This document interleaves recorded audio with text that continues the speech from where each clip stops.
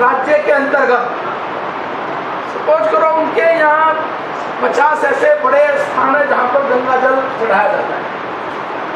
हालाँकि जो अभी तक जानकारी मिली है कि उन्होंने कहा कि गाँव के गाँव में गंगा जल चढ़ेंगे, एक स्थान पर लाखों की संख्या में इकट्ठे होने की अनुमति नहीं दी जाएगी उन गंगा जल गंगा जल को उन शिवालयों में भेजना, यदि राज्य सरकार उचित समझे राज्य सरकारों को जिस रूप में वो गंगा जल ले जाना आएँगे, हम उनको अनुमति उस रूप में देंगे।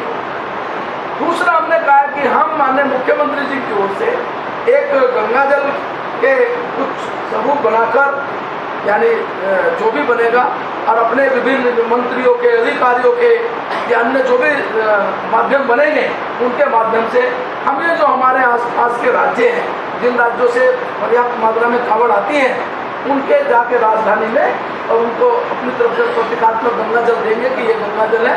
और ये हमारी जो आस्था उस आस्था के रूप में पूरी सरकार आपके साथ खड़ी है केवल कोविड के कारण इस प्रकार के निर्णय लिए गए जो परंपरा के अनुसार नहीं हो सकते। रहती हम तो तैयार लेकिन उन राज्यों ने स्ट्रिक्टली कल सारे राज्यों के अधिकारी बैठे थे। उन राज्य के अधिकारी ने तो यहाँ तक कहा कि हम अपने यहाँ जो शिवालयों में लगने वाली परंपरा भीड़ है हम उस भीड़ में भी निवेदन करेंगे कि गाँव के शिवालयों में या अपने एरिया के पर्टिकुलर क्षेत्र में ही आप जलाभिषेक करके भगवान का आशीर्वाद प्राप्त करें और इसमें कोविड के कारण अधिक मात्रा में इकट्ठा होना वो ठीक नहीं है। और ये ठीक भी है। आज आपने कहा होगा कि जो महाराष्ट्र का एक बहुत परंपरागत बड़ा पर्व है, उन्होंने भी स्थगित करने का निर्णय लिया। आपके, आप जानते हैं कि हज यात्रा कितनी बड़ी है। उन्होंने भी विभिन्न देशों से आने वाले लोगों को प्रतिबंधित करने का निर्णय लिया। तो कोविड के कारण लोगों की जान भी उसी रूप में ज़रूरी है। तो इसलिए परंपरा और आस्था बनी रहे लेकिन साथ साथ उनकी जो एक संक्रमित होने की उस पर कंट्रोल कैसे रहे ये भी सरकार लगातार राज्य सरकारें सोच रही है। सर आपने कहा कि जो राज्यों को हम जल देंगे। माने देखिए मानव संसाधन मंत्री हमारे अपने हैं और निश्चित रूप से कहीं ना कहीं उनको भी असर जाता है देश के प्रधानमंत्री जी को भी। कल मुख्यमंत्री जी ने बधाई दी है विशेष रूप से दोनों को। तो ये एक बहुत बड़ा काम हमारे राज्य के लिए हुआ क्योंकि पिछले इतने दिनों से एनआईटी के कैंपस को लेकर विभिन्न लोग राजनीति कर रहे थे। तो निश्चित रूप से ये सारा विवाद समाप्त हुआ। और एनआईटी के लिए पैसा जारी हो गया। जमाने में जिस प्रकार का कोरोना की परेशानी है उसमें नई टेक्नोलॉजी में जाना पड़ेगा। और उनको भी इसका इसको अडोप्ट करना चाहिए। कोई दिक्कत नहीं।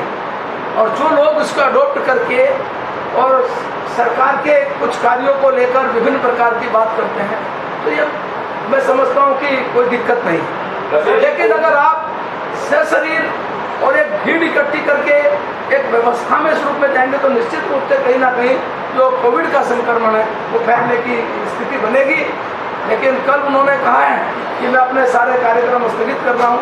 इससे कांग्रेस के लोगों को राहत ज़रूर मिलेगी खनन कार्यों को आप अवगत कराया कल अवगत में ये कराया गया कि तो इसकी समीक्षा लगातार होगी।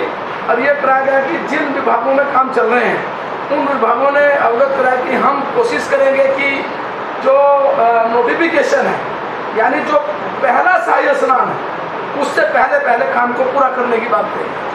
जुलाई नहीं ये कुंभ हमारा ऐसा राष्ट्रीय आयोजन है जिसमें किसी भी प्रकार के पैसे की कमी होने का सवाल ही नहीं। खनन को लेकर। इस समय बहुत पर्याप्त मात्रा में चाहे रेलवे का काम हो चाहे एन का काम हो पीडब्ल्यू के काम हो ये सारे काम चल रहे हैं। तो निश्चित रूप से इनकी दृष्टिगत पहले निर्णय हो गया था अपने ही वायस से निर्णय बहुत पहले कैबिनेट में भी हो गया था। कैबिनेट ने तय किया था कि हम एक महीना एक सवाल है। हाँ। चीज़ें इस प्रकार की आती है कहीं कहीं लेकिन आप एक की दिक्कत है जनरलाइज मत करिए। लोग जा रहे हैं, लोग ठहर रहे हैं। राज्य के अंतर्गत कोई किसी तरह का प्रतिबंध नहीं है। राज्य के लोग कहीं जाएँ, कहीं ठहरे, यात्रा करें, दर्शन करें, उनके लिए कोई ऐसा प्रतिबंध नहीं है।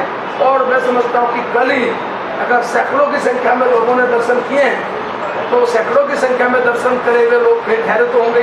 अगर एक होटल वाले ने मना किया तो नहीं करना चाहिए। सर, राज्य